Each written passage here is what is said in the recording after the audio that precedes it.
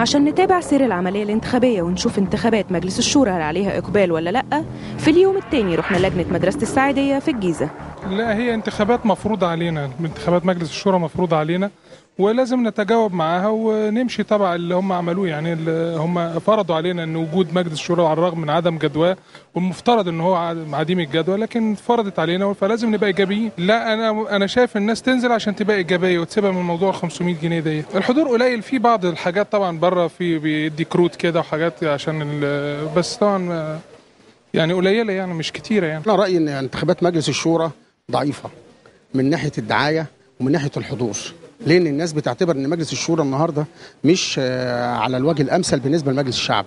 مجلس الشعب بيدي قرارات تنفيذية وكده إنما مجلس الشورى بيدي قرارات استشارية على الورق بس. والصوت اللي بينادي إن مجلس الشورى يتلغي فده خلى الناس قعدت في بيوتها النهارده ما نزلتش. دي جزئية الجزئيه الثانية الأحزاب النهارده اللي نازلة أحزاب لسه وليدة وضعف الإعلانات اللي هي عاملاها وضعف الدعاية ما خلى ما فيش إقبال. زي ما أنا جيت هنا في انتخابات الشعب قعدت حوالي ثلاث ساعات عقبال ما ادليت بصوتي. أنا النهارده جيت ما خدتش ثلاث دقائق بدل الثلاث ساعات. أكبر غلطة عملتها الحكومة إنها ما تقسمش الدوائر بالمنظر ده. النهارده في دايرة زي دايرة اسم الجيزة ديت اللي معاها واخدة الطلبيه والعمرانية وبولاق ولغاية الصف ولغاية أطفيح مش ممكن ده عايزه لو طياره هليكوبتر هتتعب.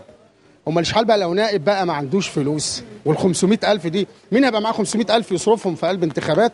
لا قيمة لها. بالنسبة لسير العملية الانتخابية طبعا إحنا ما فيش إقبال في مجلس الشورى ويكاد يكون ما ما حصلناش 10% مثلا من عدد الناخبين المقيدين في في اللجنة عندي. أنا عندي 3300 ناخب وفقا للحصة الانتخابية اللي حضروا منهم لا يتعدوا ال 100 لغاية دلوقتي من امبارح يعني.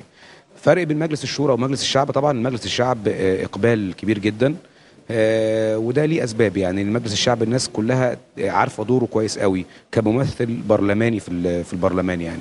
أما مجلس الشورى الشورى رغم إن هو مكمل تشريعيا لمجلس الشعب لكن الناس ما عندهاش الوعي السياسي الكافي لتعرف مدى أهمية مجلس الشورى.